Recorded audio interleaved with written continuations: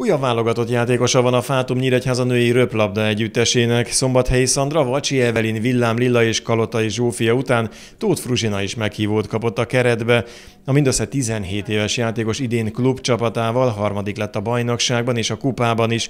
Teljesítményére a szövetségi kapitány is felfigyelt. Először is nem is hittem el, hogy ö, bekerültem oda, ugye egyből hívtam anyát, hogy anya képzeld el, ez történt, és hát ö, anya is megörült, meg én is, de még most is nehezen fogom fel, hogy mi történt igazából.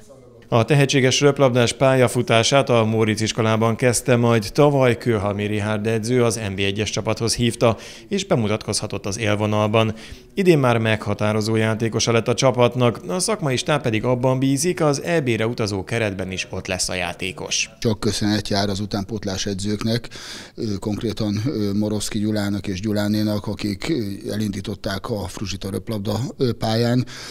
Természetesen mi nyitott szemekkel járunk, és próbálunk szemezgetni a tehetséges utánpótlás játékosok között, és hát így került horog végre a fruzsi is, horgász nyelven élve, és hát én azt gondolom, hogy, hogy nem nekem meg az edzőknek kell büszkék lenni, csak büszkéknek lenni magára, hanem, hanem neki is, mert ő olyan személyi jegyekkel van felvértezve, ami mindenféleképpen arra utal, hogy őből bármilyen játékos lehet.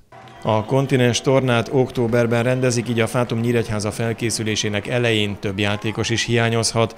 Tóth Fruzsinának két rutinos riválissal kell majd megküzdenie a válogatottban a csapatba kerülésért.